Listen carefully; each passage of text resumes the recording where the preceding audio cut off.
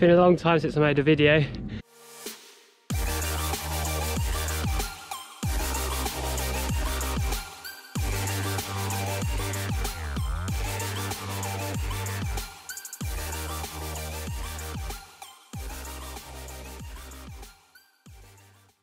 I did plan on vlogging every one of my marathons, but unfortunately it's not worked out like that.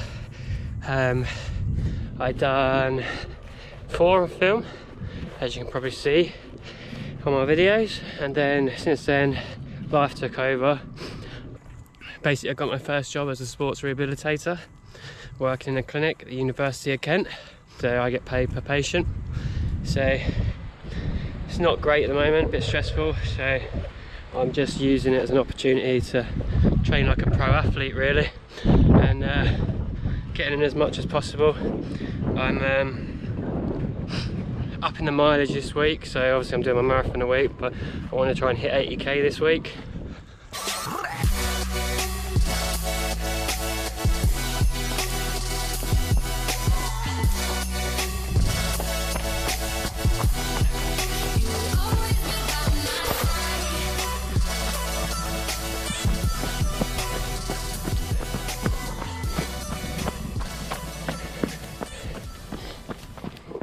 I've actually done 13 marathons now. Yeah, 25% of the way through. Um, I'm actually feeling stronger. They're becoming easier. My body's adapted.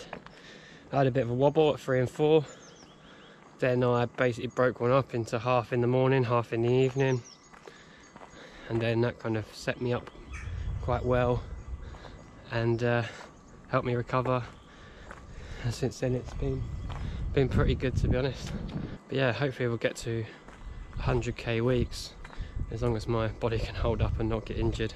Just got to be really sort of stringent on my foam rolling my stretching my activation um, doing everything you're meant to do but as runners we forget to do. At least I've got plenty of time now so no excuses. Right I'm going to get on carry on running. It's 10k easy today. I've done 10k yesterday as well. So Oh, car's coming. Right. That's enough from me.